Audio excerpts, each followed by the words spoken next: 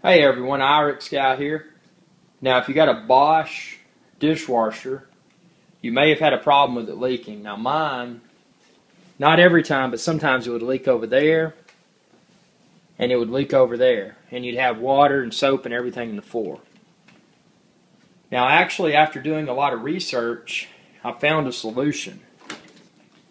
And what you need to do, and this is inside this particular Bosch uh, this one, as you can see there, uh, let me let it focus.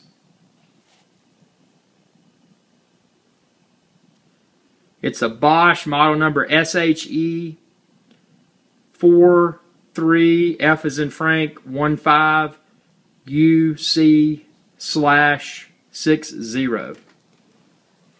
And they, they all the Bosches may be somewhat similar, but the root cause of it leaking, and this is going to sound really weird, but on this particular unit, see that plug right there on the right?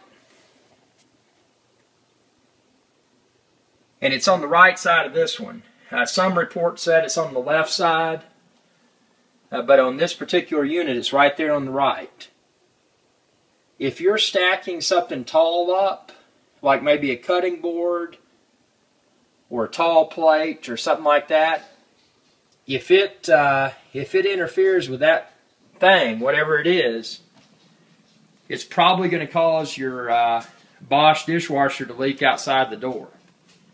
So if you've checked your seals, you know, checked all your stuff down here, and it looks like everything is um, everything is as it, as it should be, but you're still leaking. Always pay attention when you load your dishwasher, and don't put anything near that funny looking plug. Try that out and I, I can't guarantee you, but I would be willing to bet that that may resolve your uh, Bosch dishwasher leaking problem.